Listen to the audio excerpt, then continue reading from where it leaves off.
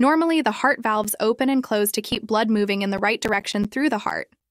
Disease or defects in the heart valves can disrupt this normal blood flow, causing symptoms such as tiredness, heart palpitations, and trouble breathing. These symptoms come on gradually. In some cases, a damaged heart valve needs to be repaired or replaced. Many times, this can be done without the need for open heart surgery. Instead, your healthcare providers may be able to repair or replace your heart valve using a minimally invasive procedure. These are called percutaneous or transcatheter procedures. The most common reason people have heart valve procedures is for a leaking or narrowed heart valve. These conditions make the heart work harder to get blood into the heart or out to the body. When a heart valve is leaking, it is called regurgitation.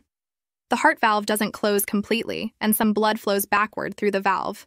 When a heart valve is too narrow, it is called stenosis. The valve opening can become narrow and stiff, limiting the flow of blood into or out of the heart chambers. If you need heart valve repair or replacement, your healthcare provider will discuss treatments with you. He or she will tell you which treatment options are best for you, based on your individual case.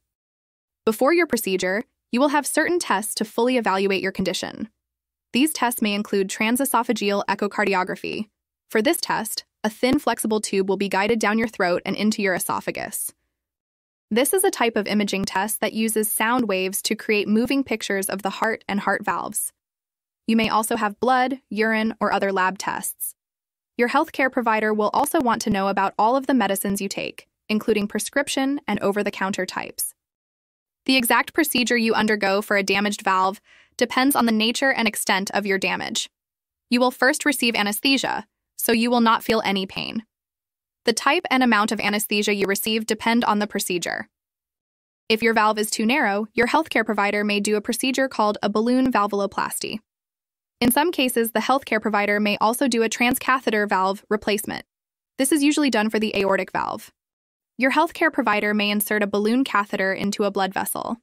He or she will guide it to the damaged heart valve. Next, the healthcare provider will expand the balloon inside your valve. This stretches the valve open, when the healthcare provider is replacing your aortic valve, he or she will put the new valve on the catheter. The healthcare provider will then guide the catheter back to the damaged valve.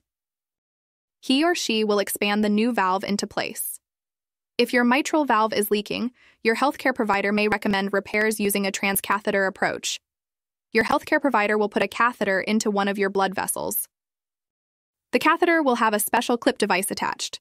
Your healthcare provider will guide the clip on the catheter to the leaking mitral valve. The clip will grasp the two sides of the mitral valve and close. This creates a double opening of the mitral valve. The clip still allows blood to flow on either side of it, but it greatly reduces the amount of leaking. After your healthcare provider completes the procedure, he or she will close the incisions. As your healthcare provider skillfully completes the procedure, incisions are closed and a new chapter begins.